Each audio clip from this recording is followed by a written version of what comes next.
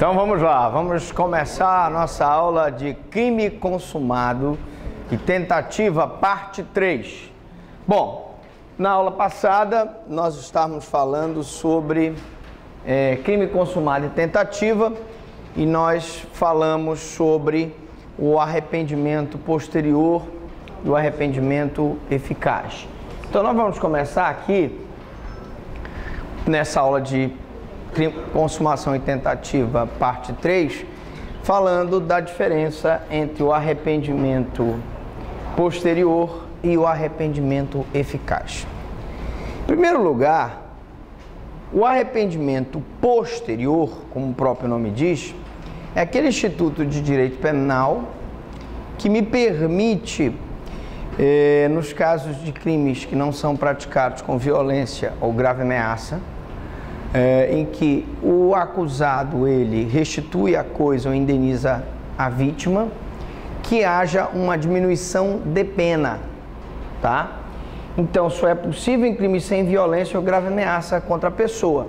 Portanto, o arrependimento posterior ele não é possível se eu tiver um roubo, porque o roubo ele implica na, no emprego da violência e da grave ameaça. Qualquer outro crime que envolva violência ou grave ameaça, ele está fora do benefício do arrependimento posterior. Segunda característica, ele é posterior à consumação. É preciso que o crime já tenha sido consumado e a pessoa então restitua a coisa, devolva o bem que foi subtraído ou indenize a vítima. E é causa de redução de pena, variando entre um terço a dois terços, tá? Logo, como o crime aqui ele foi consumado, essa variação de pena ela vai, ela vai depender. Hum, essa sabirita, essa cachaça é de Minas Gerais, né? aqui para reforçar. Ela vai depender de circunstâncias judiciais. Nós vimos que na tentativa ela depende de quanto mais próximo você chegar de consumar o crime, né, ou menos ou mais distante de consumar. Aqui não. Aqui como ele já está consumado, um terço a dois terços vai depender das circunstâncias judiciais do acusado. Bom, no arrependimento eficaz, nós temos é, a primeira característica, ele é cabível em qualquer crime, mesmo naqueles praticados com violência ou grave ameaça, eu posso aplicar o instituto do arrependimento eficaz. Ele é anterior à consumação. Então a pessoa deu vários tiros na vítima com o objetivo de matá-la e a levou para o hospital onde ela milagrosamente foi salva. Então eu tive um arrependimento eficaz, a vítima não morreu. E finalmente o agente só responde pelos atos já praticados. Mesmo que você me diga assim, mas professor Franklin, ele atirou na vítima com a intenção de matar ainda assim eu te diria, realmente, não há dúvida nenhuma, pela teoria finalista da ação, segundo Hans Kelsen, uh, Hans Wessel, ele, quando ele tem a intenção de matar, ele tem então uh, que ser tipificada a conduta do, da tentativa de homicídio. Mas como ele é beneficiado pelo Instituto do Arrependimento Eficaz, por uma questão de política criminal, ele só responde pelas lesões corporais praticadas, ou seja, pelos atos praticados anteriormente. Ele não vai responder pela tentativa de homicídio. Bom, é, como eu disse para vocês, nas minhas aulas eu costumo é, colocar situações que caem é, na prova do OAB em concurso público. E nós, nós observamos que cai muito essa questão aqui da súmula 554 do Supremo Tribunal Federal, que, é, que se refere cheque sem fundo, tá? Essa súmula 554 do Supremo diz o seguinte: o pagamento do cheque emitido sem suficiente provisão de fundos após o recebimento da denúncia não obsta o prosseguimento da ação penal. Ora, o que eu quero dizer é o seguinte: se o cidadão, e parece que tem até uma questão no exercício aí, é, ele, ele emite um cheque sem fundo, ele está praticando um crime de estelionato na modalidade de emissão de cheque sem fundo. O estelionato, ele é um crime praticado sem violência ou grave ameaça. Ele se utiliza do ardil para enganar outra pessoa. Logo, logo, o que que acontece? É, nessa situação, se o cidadão vai e faz o pagamento do cheque antes do recebimento da denúncia, uh, não há necessidade então de processar o cidadão por emissão de cheque sem fundo, o estelionato. Mas se ele o faz após o recebimento da denúncia, isso não vai extinguir, uh, não vai obstar, vai impedir a ação penal. Ou seja, mesmo pagando o cheque, ele vai responder por estelionato na modalidade de emissão de cheque sem fundo. Vejam bem, o fato dele pagar não vai extinguir a punibilidade, não vai impedir a ação penal, contudo, nós vamos ver já já que ele vai receber um benefício legal, porque não seria justo ele pagar o cheque, restituir o prejuízo e não ser beneficiado pela lei.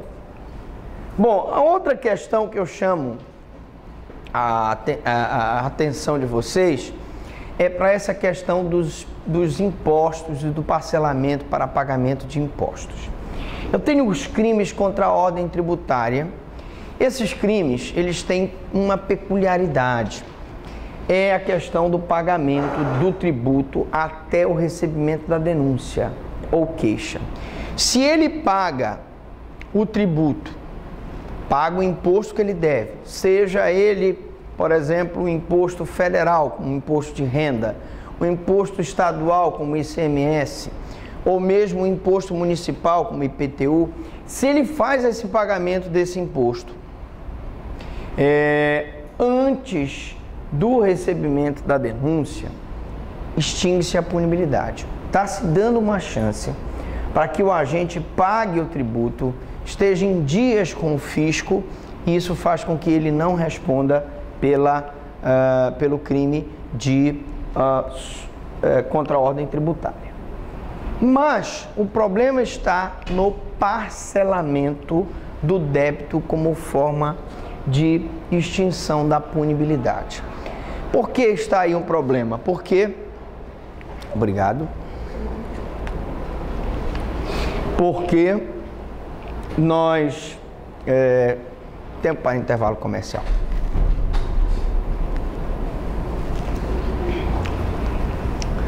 Nós temos três posições sobre esse parcelamento. E você tem que saber todas as três posições. A primeira posição diz que se o pagamento do parcelamento for iniciado antes do recebimento da denúncia, extingue-se a punibilidade. Essa era a posição antiga do STJ. Mas qual é o problema dessa corrente, professor Franklin? Essa corrente tem um probleminha. Por quê? Porque o cidadão começa então, ele deve 10 mil reais de ICMS. E ele então pede para parcelar esse ICMS em 10 parcelas. Segundo essa teoria aqui, essa posição, se ele fizer o pagamento né, antes do recebimento da denúncia, se o pagamento do parcelamento for iniciado antes do recebimento da denúncia, ele tem a extinção da punibilidade. Ou seja, ele paga a primeira parcela ou as primeiras três parcelas, extingue-se a punibilidade dele e depois ele não paga mais. Já se extinguiu a punibilidade, ele não vai mais poder ser processado a nível criminal, só pode ser cobrado o imposto. Então essa primeira posição ela foi falha. Viemos então para a segunda posição. A segunda posição diz que o parcelamento do pagamento do tributo não acarreta a extinção da punibilidade, salvo se antes do recebimento da denúncia já houver sido integralizado o total do débito. Essa é a posição nova do STJ e essa é a posição do Tribunal de Justiça de São Paulo. Eu dou uma primeira posição não tem validade. Lógico que nessa posição aqui, ele diz: tudo bem, meu amigo, você parcelou o débito, beleza, tranquilo. Só que nós só vamos extinguir a tua punibilidade quando tu quitares tudo. Tudo. Porque posição antiga do STJ era de que se extinguia pelo primeiro pagamento, os primeiros pagamentos, e o que, que a gente observou? Muita gente pagava os primeiros, depois não pagava mais. Mas essa segunda posição, ela foi aprimorada pela terceira posição, que diz: o parcelamento do pagamento do tributo será condição suspensiva de, da punibilidade. O que significa isso? Essa é a posição do Supremo. O Supremo, o Supremo Tribunal Federal foi mais sábio quando estipulou essa posição. Pelo seguinte, porque ele disse: tudo bem, beleza pura, não vou nem extinguir a tua punibilidade, eu vou dizer o seguinte: tu estás pagando rigorosamente em dia, primeira, segunda, terceira, quarta parcela. Está aqui suspensa a espada de Damocles né? Tá aqui a tua cabeça. Se tu não pagares a, a sétima, oitava, nona, décima, o que que acontece? A espada de Damocles corta. Então aí o Supremo foi esperto, disse não, trata-se de uma causa suspensiva. Enquanto ele está pagando bonitinho, eu vou beneficiando ele. Suspendo a possibilidade dele ser processado criminalmente. Mas se ele não pagar, hum, aí ele pode ser extinto. Então é lógico que hoje prevalece essa posição do Supremo Tribunal Federal, até porque se vocês forem recorrendo através de recurso, uma apelação no Tribunal de Justiça do Estado, depois o recurso especial no STJ, depois o recurso extraordinário no Supremo, vai prevalecer no Supremo essa corrente aqui. Bom, uma outra questão muito importante é o refis e suas consequências penais. Primeira pergunta é: vocês sabem o que refiz? Ninguém? O senhor sabe. Muito bem. Sucintamente, porque isso aqui não é uma aula de direito tributário, refis vem de refinanciamento, tá? Refis vem de refinanciamento, tá? Ou seja, a pessoa tem uma dívida, chega com o fisco, diz: Olha, eu tenho, devo, não nego, pago quando eu puder. Então ela vai refinanciar aquela a dívida. Ela pede o refis, que é o refinanciamento daquela dívida. O refis, se vocês quiserem é, dar uma estudada, ele está na lei 9.964.00 e de 2000, né? E o seu artigo 15, ele determina a suspensão da pretensão punitiva do Estado referente aos crimes previstos no artigo 1 e 2 da Lei 8.137 de 90. Que lei é essa, professor Franklin? A lei dos crimes contra a ordem tributária. Quem não paga o tributo é processado de acordo com essa lei.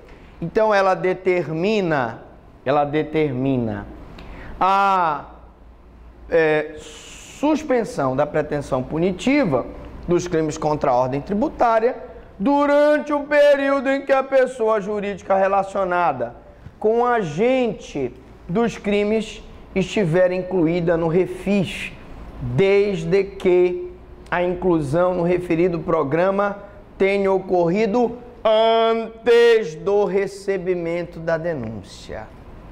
Então, na esteira do que já determinou o Supremo Tribunal Federal, essa posição acompanha o entendimento do Supremo que quando a pessoa pede um refinanciamento, o refis, ela tem o direito de refinanciar a dívida e vai pagar essa dívida parceladamente. São aí 5 anos, 10 anos, 20 anos, dependendo da situação. Enquanto ela está pagando rigorosamente em dia, fica suspensa a pretensão punitiva. A espada de Damocles fica aqui. A partir do momento que ele não paga, a espada de Damocles cai na cabeça e corta a cabeça da pessoa. Ou seja, ele pode ser processado a nível criminal. Chamo a atenção dos senhores para uma primeira observação. Reparem que o refis ele só é admitido antes do recebimento da denúncia criminal. Preste atenção, porque eu chamo atenção. Porque daqui a pouco nós vamos ver o PAS e vamos ver que o PAS ele pode ser feito inclusive depois do recebimento da denúncia criminal.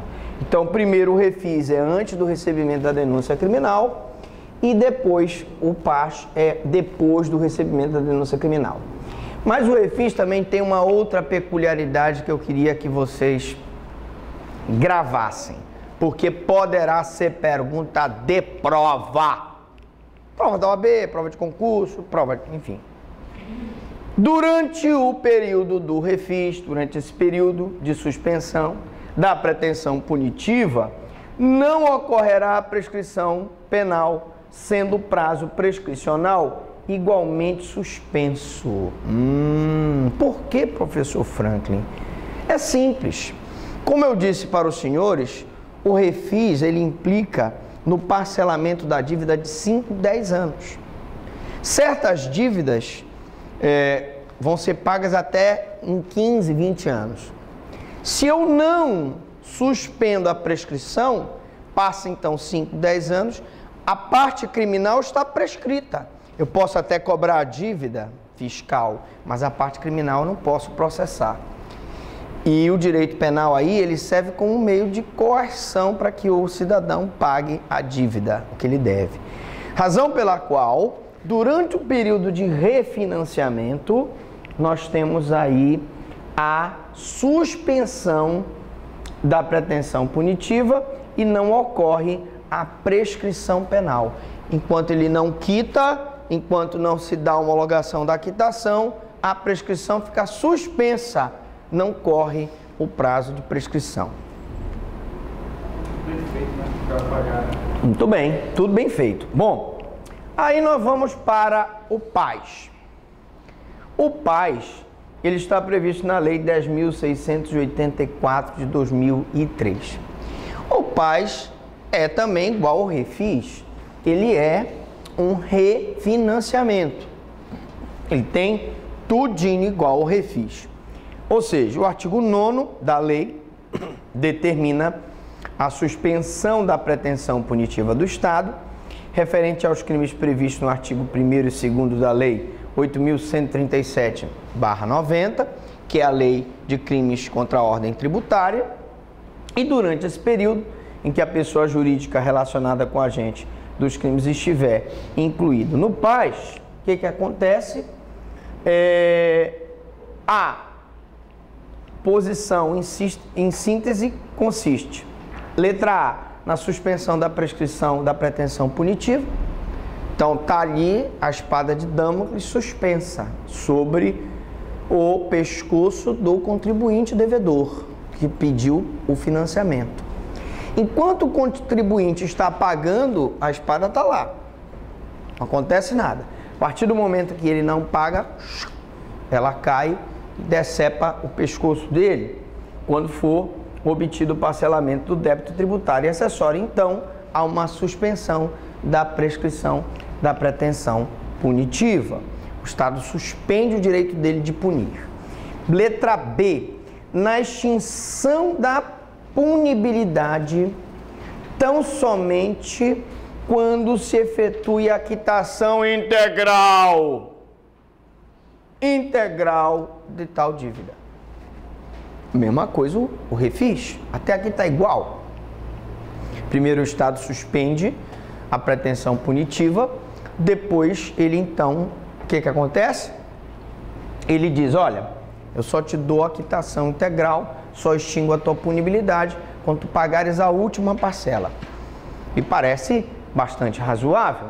E letra C, aí é que muda um pouco, diferencia do refis, o PAS, é que o parcelamento pode ser obtido para qualquer hipótese de sonegação fiscal e mesmo após o recebimento da denúncia.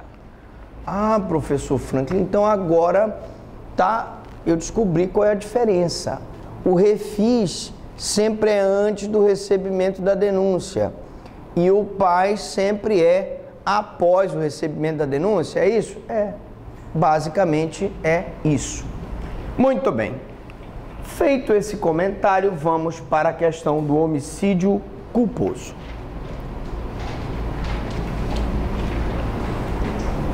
É cabível arrependimento posterior se o homicídio é culposo, mas não é cabível se o homicídio é doloso. Por quê? Imaginemos a seguinte situação: você vem dirigindo o seu veículo em alta velocidade, você atropela uma pessoa.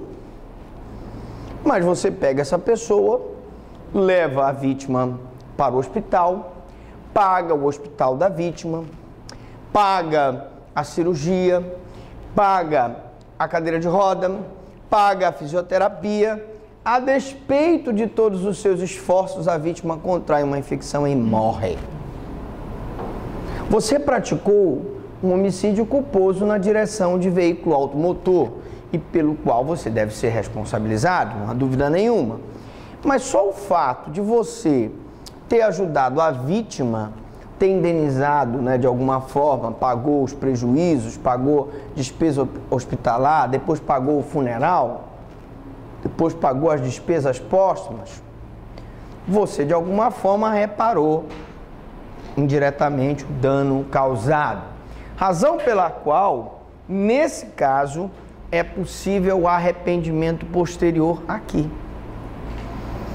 É o arrependimento posterior vai ser aplicável. Todavia, o arrependimento posterior não é cabível no homicídio doloso. Por quê, professor? Por quê, gente? É lógico. Se nós estamos dizendo para vocês que o arrependimento posterior é um instituto que só é aplicável se o crime não é praticado com violência ou grave ameaça, lógico e evidente que sendo um crime de homicídio doloso, difícil a hipótese de você é, encontrar uma, um homicídio doloso sem que haja prática de violência. Só o fato de você retirar a vida de uma pessoa já é um ato de violência. Portanto, não é possível no homicídio doloso o arrependimento posterior. Mas o arrependimento posterior é plenamente possível no homicídio culposo. Outra coisa que eu chamo atenção, e sempre falando em coisas que caem em concurso público, é a questão do peculato culposo. Tudo baseado em tópicos que já caíram em provas da OAB em concurso público. Bom, primeiramente, o que é peculato culposo?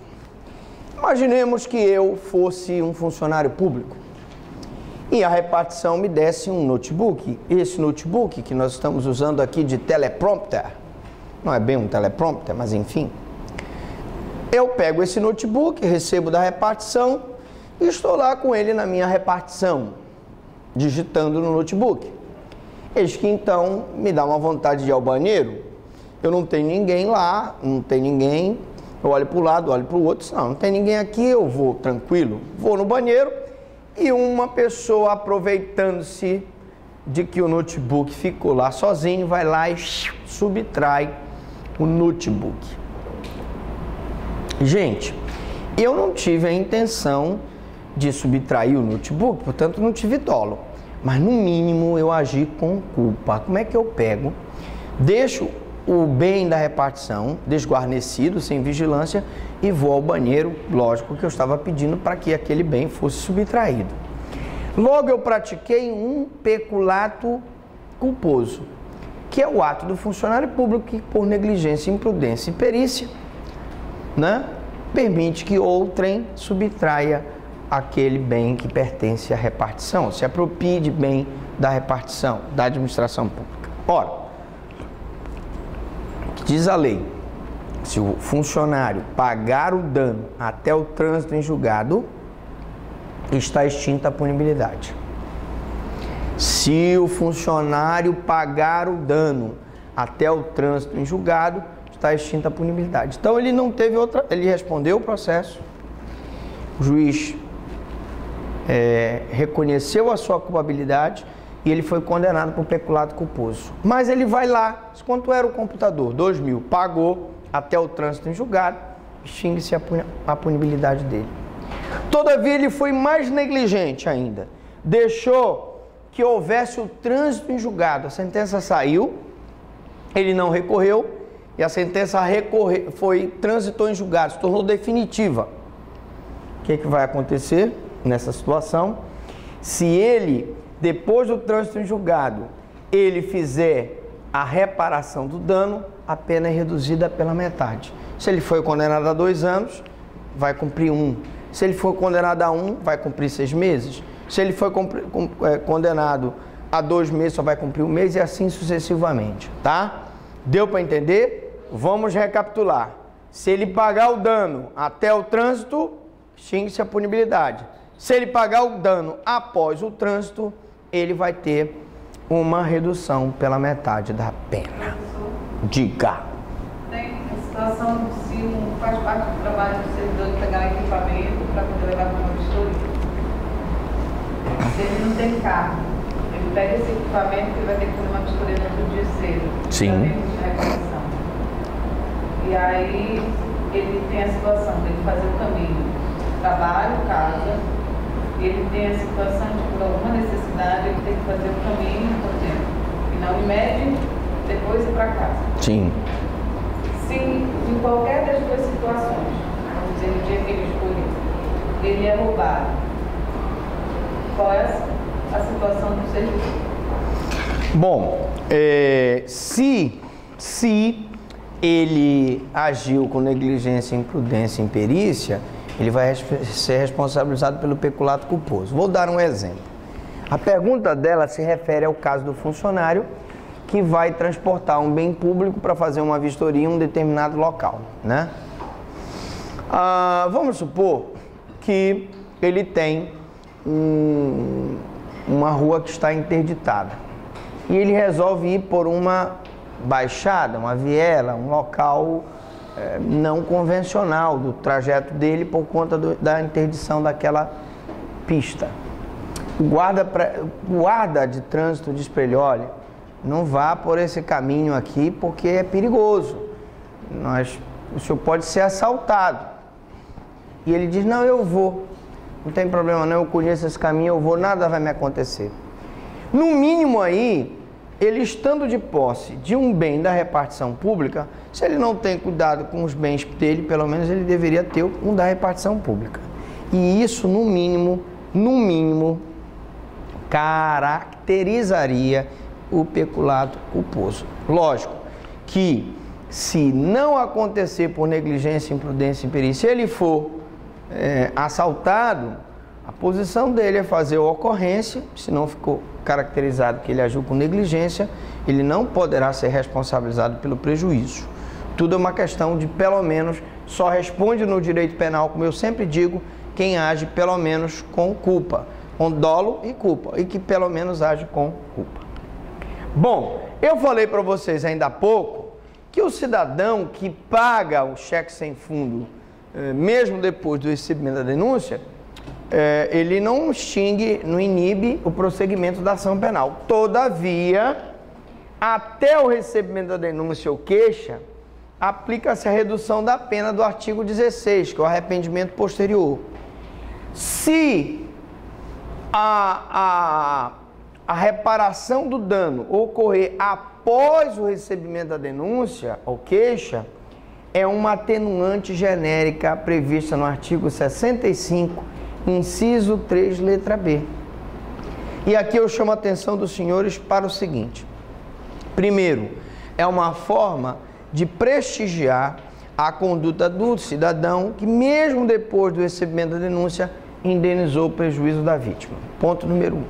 Ponto número dois, ela passa a ser, ela antes do recebimento, do recebimento da denúncia, o arrependimento posterior tem natureza jurídica de causa de diminuição de pena é como se o agente tivesse praticado um crime tentado, porque a pena é reduzida de um terço a dois terços.